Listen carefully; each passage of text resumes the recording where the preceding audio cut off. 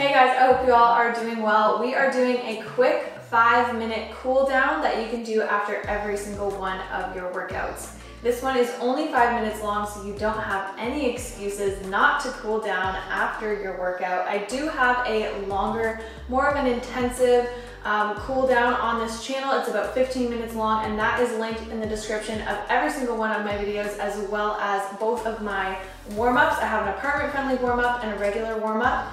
This cool down video will also be linked under every single video going forward so that you can easily access it after your workout. You don't need any equipment for this, just make sure that you have a little bit of space and a soft surface beneath you, as I'm sure you will because you had just worked out. I think that's it. Make sure that you can see your screen so you can follow along with me, and without further ado, let's get to it.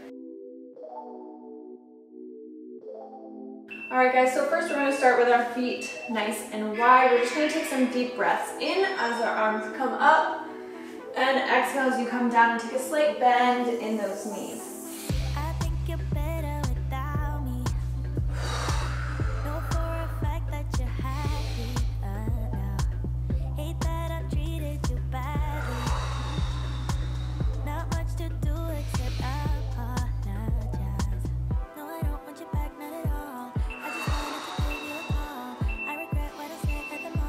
We come down, this time we're going to stay down.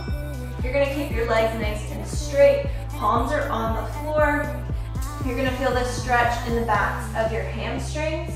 You can either have your palms on the floor, you can pull yourself through, grabbing your ankles. You can pull yourself through with your hands behind you. You wanna let that neck go nice and loose.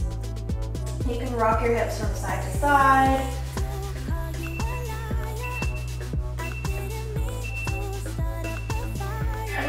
Sweep over to one leg. So I'm grabbing my right ankle, pulling my torso close to my quad, sending my hips backwards so I'm feeling that stretch in my hamstring. Again, try to keep as much tension off the neck and the shoulders as possible.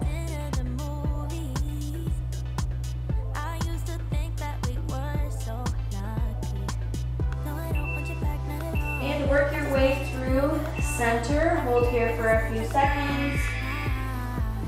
And we're gonna come to the other side now. So grabbing that left ankle, sending those hips back, torso toward the quad.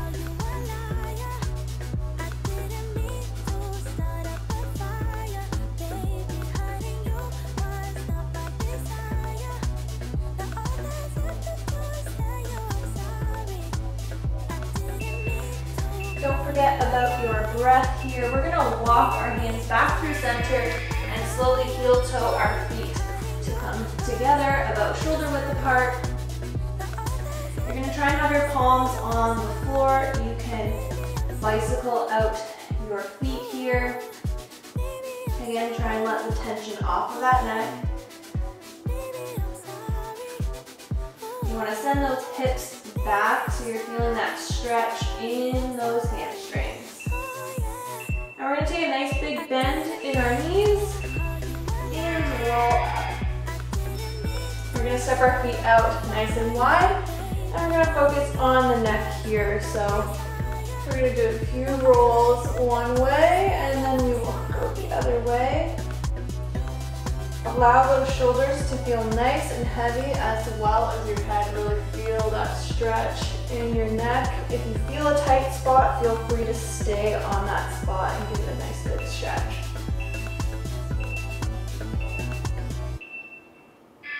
All right, nice big shoulder rolls here. And bring your right arm across. Press that shoulder down you guys know the drill with this one.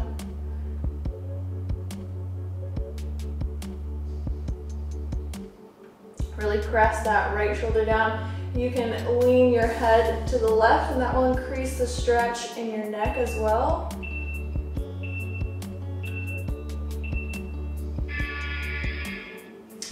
Let it go, bring the arms across like so. Stretch out that chest a little bit. And bring that left arm across, press that left shoulder down.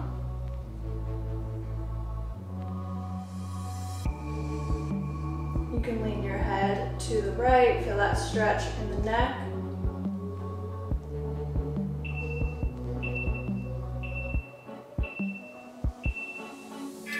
Good, let those arms go.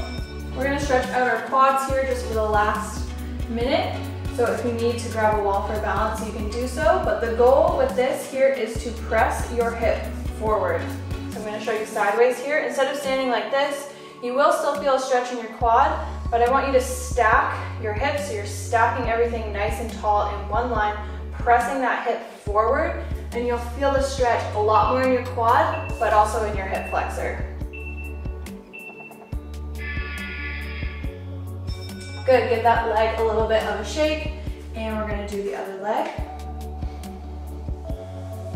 Press that left hip forward and drive that knee down as much as you can in a straight line here.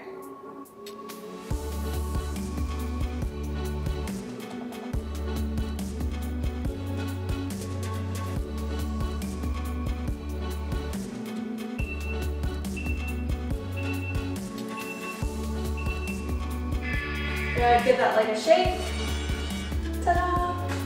So that's just a really quick, basic five minute cool down that you can do after all of your workouts. Cooling down is so important. Taking care of our bodies after we work out is so important, just as important as warming up beforehand.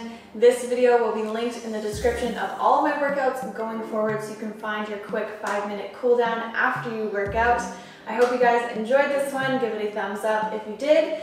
Leave me your feedback down below, and if you're new here, make sure that you hit that subscribe button. Turn on your post notifications so you don't miss another video from me, and I will see you guys very soon. Bye!